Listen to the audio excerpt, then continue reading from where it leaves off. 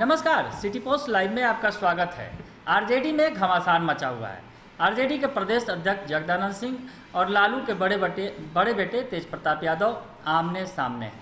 वार पलटवार चल रहा है। कल तक तो पर्दे के पीछे लड़ाई हो रही थी, अब कल के बाद लड़ाई पर्दे के सामने आ गई है। कल दरअसल जगदानंद सिंह ने तेजस्वी यादव से मुलाकात की, घंटों बात की और उसके बाद उन्होंने बड़ा एक्शन लिया। आरजेडी के प्रदेश अध्यक्ष जो थे, छात्र विंग के आकाश यादव, जो तेजस्वी यादव तेज प्रताप यादव के खासम खास थे, उन्हें पद से हटा दिया गया, पार्टी से हटा दिया गया और गगन कुमार की नियुक्ति कर दी गई। इसके बाद तो तेज प्रताप यादव ने जगदानंद सिंह के खिलाफ मोर्चा ही खोल दिया और बवाल लगातार जारी। और तेजस्वी, माफ़ कीजिएगा, तेज प्रताप यादव ने जो दो ट्वीट किए, उस ट्वीट में एक चर्चा उन्होंने की, दरअसल प्रवासी सलाहकार की।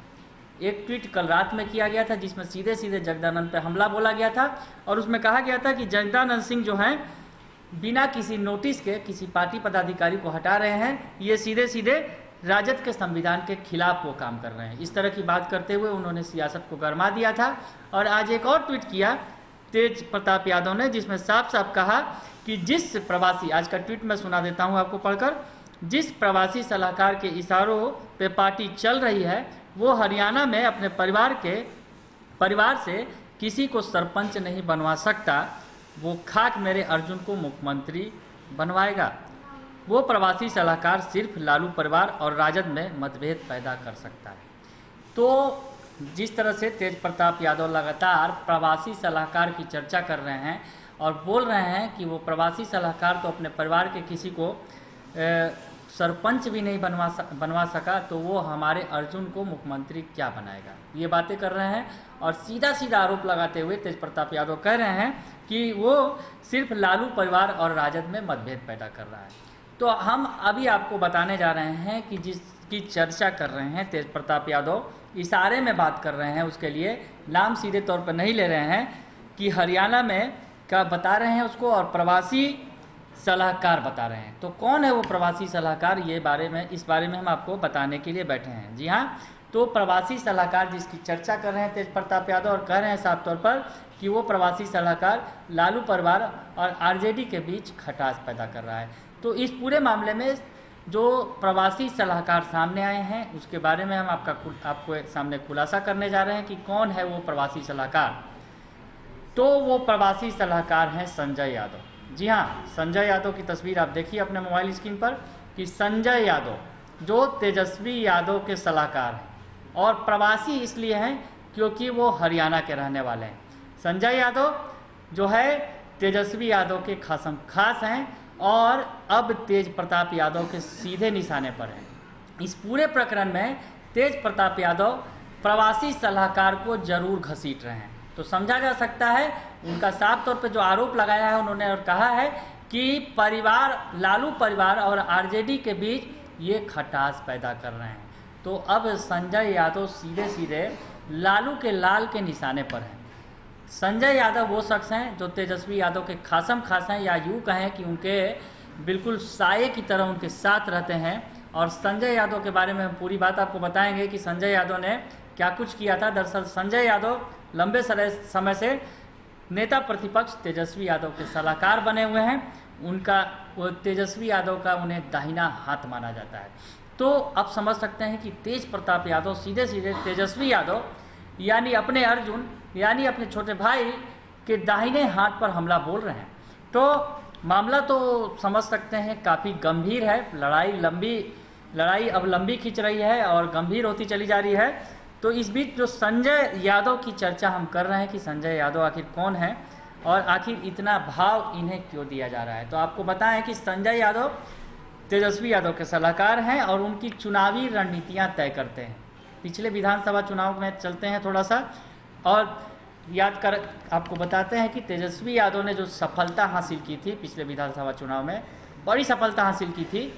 और कहीं ना कहीं वो युवाओं के नेता के तौर पर उभरे थे और बिहार के अंदर सबसे बड़ी पार्टी बनकर उभरे थे।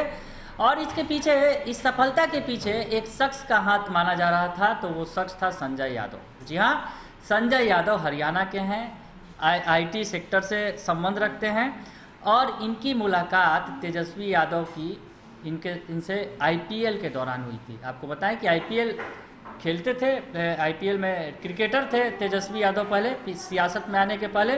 तो तेजस्वी यादव की मुलाकात आईपीएल में संजय यादव से हुई थी और आईटी पर, फर्म की नौकरी छोड़ दी थी तेजस्वी यादव के लिए, संजय यादव ने। और आरजेडी के साथ जुड़ गए थे और तेजस्वी यादव के लिए वो रणनीतियाँ बनाना शुरू कर दिया था उन्होंने। तो 2010 में ये मुलाकात हुई थी, उसके बाद से लगातार संजय यादव, तेजस्वी यादव के खसम खास बने हुए हैं।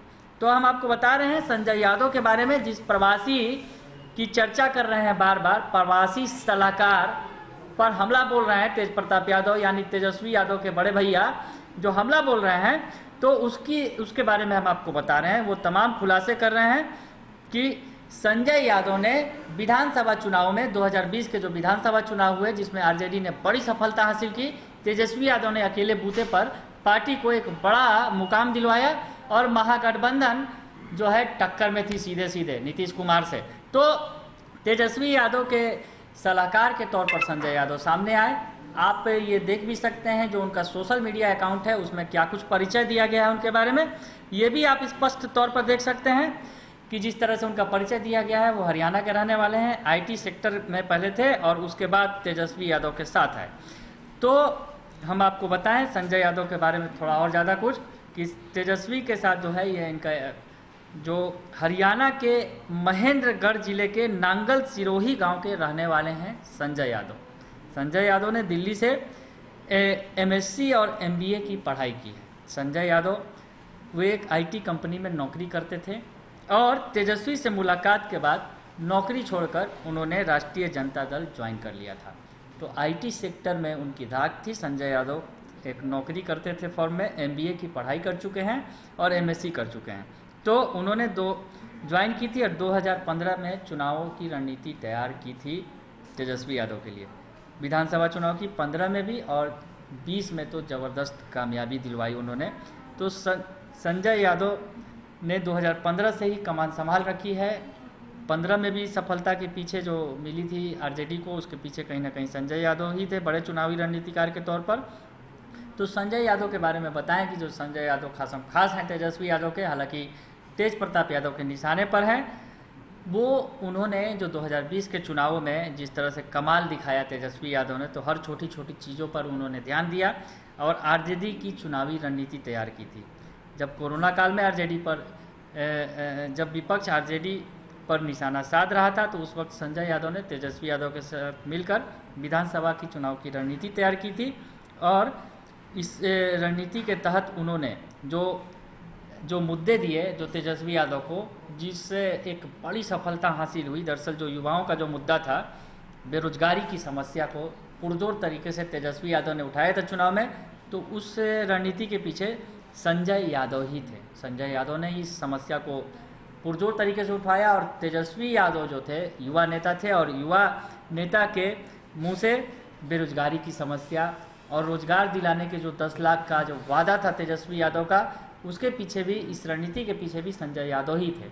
तो संजय यादव अब इतनी बड़ी रणनीति बनाकर उन्होंने सफलता ज़रूर दिलाई तेजस्वी यादव को, पर अब सीधे सीधे तेजस्वी यादव के बड़े भैया के निशाने पर है संजय यादव, और संजय यादव पर बड़ा आरोप लगा रहे हैं तेज प्रताप यादव। उनका साफ़ कहना है कि संजय यादव परिवार में फूट डाल रहे हैं परिवार और पार्टी के बीच, यानी आरजेडी के बीच खटास पैदा कर रहे हैं। लालू परिवार और आरजेडी के बीच खटास जो हो गई है, उसका सबसे बड़ा कारण संजय यादव है। यानी तेज प्रताप यादव का गुस्सा जगदानंद संघ तक ही सीमित नहीं है, बल्कि तेजस्वी यादव के सलाहकार तक पहुँच चुका है। और अब ये गुस्सा क्या रंग लाएगा, ये तो आगे देखना लाजमी है, लेकिन अभी जो कुछ हो रहा है आरजेडी के अंदर उसकी आग जो है, लगी है, अब वो धुआँ धुआँ उठा है, आग लगी है, अब ये कितना क्या गुल खिलाएगा और कितना नुकसान पहुंचाएगा आरजेडी को? तो ये जो है, इस पर ध्यान देने की देखने वाली बात होगी। बने रहिए सिटी पोस्ट लाइव के साथ। तमाम खबरों से आपको अपडेट रखेंगे। फ़िलहाल के लिए इतना ही। धन्यवाद।